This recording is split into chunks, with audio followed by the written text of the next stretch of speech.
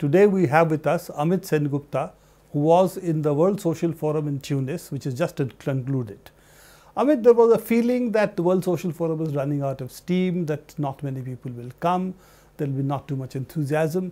But the facts really were otherwise. There was a lot of enthusiasm, at least from the region that we saw, and it seemed to be a very vibrant forum. So, what's your impression of the whole forum? Well, many people uh, were pleasantly surprised, uh, and uh, many people said that after 2004 or maybe 2005, uh, this was the first time that uh, one had a forum where everybody uh, felt enthused, there was a lot of energy, the logistics worked, but that's an aside. But what really lent to the vigor and all that went into making the forum successful was really the local context, was really that it was happening in a region which in the last two years has seen such a lot of uh, things taking place, such, a lot, lot of transformative uh, developments taking place. Now, um, it is true that uh, there is a lot of dissatisfaction also in the region, uh, where people, many people are saying they stole our revolution. That uh, a large number, especially of the young people, who were part of starting uh, what happened in Tunis, leading to Ben Ali's ouster, or in Egypt, uh, leading to the change in the regime, uh, are unhappy about it. So, what also appeared true was they looked at, at, the forum as a forum of hope. Also, the place where what led to the Arab Spring, those forces could be brought in a fight against neoliberalism, fight against the kind of economic policies which have been, have, which have been pursued in these areas, and the fact that the current governments which have come in want to continue a lot of this forum. So, in some sense, a forum of resistance again. Absolutely. I mean, for example, one of the big debates now, now that's taking place in that region is the very big IMF loan that is being uh, now negotiated. Uh, in that whole region, Egypt, Lebanon, Syria, um, and uh, I think uh, Libya as well. So, uh, it's it's a huge loan and it's and a lot of left commentators from the region have said that it's going to tie down the whole region into conditions that are probably more onerous than the old regimes were tied down to. So, that is the kind of, uh, if you are really looking at the economic uh, issues in the region, that is the ki kind of attack that is already coming in the region and uh, the uh, institutions of globalization really are looking at this as an opportunity, the uh, change of regime, the relative instability also providing. So, that is the other is of course, the fact that today many of these uh, countries today have Islamist parties in government. Uh, in Tunis, in Tunisia for example, uh, unlike Egypt, uh, there is a left tradition that was somehow kept alive. The trade also unions, very strong trade union. The movement. trade unions uh, and the trade unions were quite uh, very active. In fact, they were the main force initially, at least, in organizing the forum in Tunis. So they were very visible with their flags, with uh, their slogans. Uh, so there is the tension uh, between the Islamists and the left was also being played out. And of course, the presence of the left was much, much larger inside the forum as well as in, the, in uh, what you could see visibly in the marches. So, they also in a way adopted the forum after as Chokri Belaid assassination. Precisely. So, uh, the last one and a half months the left has been on the streets and it, it, it was like it was almost the forum almost parts of it at least became a memorial to Chokri Belaid. The, the closing march, uh, it was uh, in Brazil, uh, we used to say that the most uh, prominent uh, sort of picture that you see in the march was Che Guevara. No, here it was Chokri Belaid. The march was full of uh, uh, uh placards showing his picture. And uh, so that was the kind of kind of issues that lent a, a, vitality that went beyond this being just a forum of debate to becoming a forum of resistance and change. And the other thing that was very clear was the participation of young people, boys and girls in very large numbers. The students were out there in big numbers. In fact, uh, uh, Tunisia has at uh, university uh, elections and the left has done remarkably well in that. Uh, uh, in, these elections, and in fact, the Islamists got less than 20 percent of the seats. So that's also something that was reflected in the uh, in the numbers of young people, students who are out in the streets holding up. Uh, I mean, totally unexpected, at least for somebody like me, who's, who wouldn't know that region so well. Uh, that in the closing march, you had huge groups of young people marching with Chokri Belaid along with Lenin, Fidel, singing the Internationale all the way to the Palestinian embassy. So this was a this in a way captured what the forum was about. The other thing in Tunisia, and of course this is not really only the forum but also the Tunis issue, is that there is an attempt by Salafists or the Wahhabi kind of Islam to impose a different kind of Islam than is practiced in Tunisia in terms of even Islam. They have burned mosques, they have you know attacked mazars and so on. So is that also a part, did that debate also come up within the social forum? Well, uh, part of it, yes, inside the forum uh, it did, but much of it was played out in the streets. You could see the tension.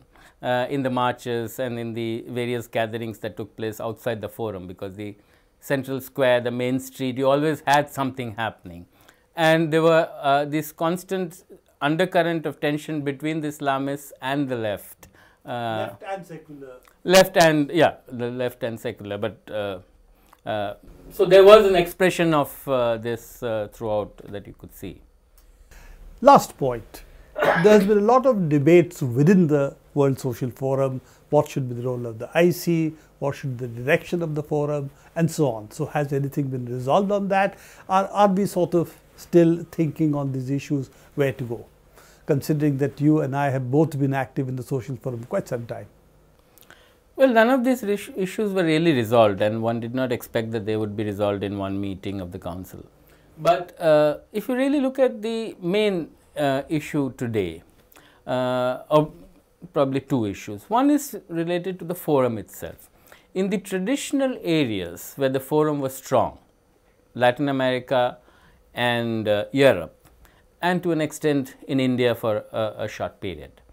Now, in all those areas, you see the interest around the forum seeming to start waning. Uh, much of that would also have to do with the internal issues in those regions, not just with the forum itself.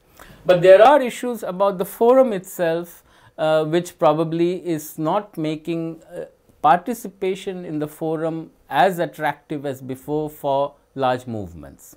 So, movements it is not as if movements are today hostile uh, from these regions to the forum, but they do not want to invest what as they were uh, earlier right through the middle of the uh, uh last decade.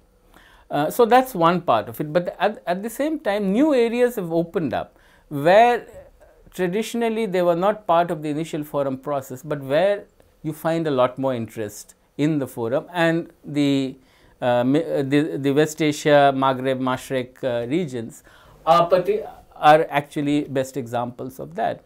And in many of these places, the forum is often seen as a place for expression of democratic, secular and left politics, which otherwise in their societies at least till two years back, it was very difficult to openly, uh, openly be able to uh, work in that manner for mass organizations to actually articulate. And in fact, if we go back to what we saw in Pakistan in 2007, a lot of people said that this was a liberated area where in Pakistan, only place where you could speak out against the army uh, openly. We saw that in Bangladesh, for example, uh, in the Asian Forum a year and a half back. Much larger interest, much more energy than we have seen in India in the forum in the last four, five years. So, new areas are really opening up and the challenge before the forum is to adapt and make the forum more friendly for such new areas to join in the forum and not necessarily concentrate on traditional areas where the forum has been earlier uh, active. So, paraphrasing that, what you're really saying is that the forum has a purpose and a place, and it we have to consider that this can move with time. Absolutely. And this is what, for instance, helped Latin America at one point even helped Indian movements at one point. But after a certain time, maybe the forum is not the only place for movements to come and do things. Once it has fulfilled that purpose, it needs to move on to areas where that purpose still remains. Shall we say that that could be considered as where the forum should really be looking for? should be looking to? Yes, clearly. I mean, in, terms of uh, how the forum should uh, strategically look at newer areas to move on to. At the same time, I think the forum also needs to, and that's an unresolved issue and needs to be debated further, and I don't know whether it's going to be resolved ever, is how the forum becomes an arena for building struggles. Uh, today, uh, it's a it's an issue that has not been adequately addressed. There have been attempts. It's not as if that there is no recognition that this is an issue today.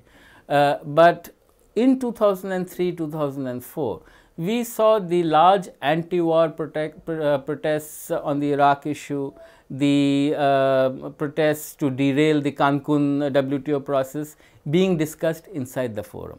But since then, somehow that has that is not happening at that scale. There is some mobilization in the forum on the climate issue of trying to come together on the climate. Climate issue, water privatization yes, and but, so on. But the kind of global protests that really had a lot of traction inside the forum and in fact many of them were planned inside the forum that's not happening and that's what movements are today looking for uh, that's what attracted them to the uh, to the uh, forum uh, the big uh, uh, movements so that's a cha challenge that still remains uh, for the forum, how to make the forum space, open space, more friendly for movements to come and forge their alliances and forge struggles. So no easy answers, but not a dismal picture as one might have thought before the forum, that things are really, the World Social Forum has perhaps become passe, not that as yet. Oh, oh, yes, the five days of the forum really changed uh, a lot of people's minds about uh, the utility of the forum and whether the forum shall survive. Thank you very much. And as the World Social Forum continues its march to whatever new destination, we'll continue to follow it in NewsClick. Thank you very much. Thank you.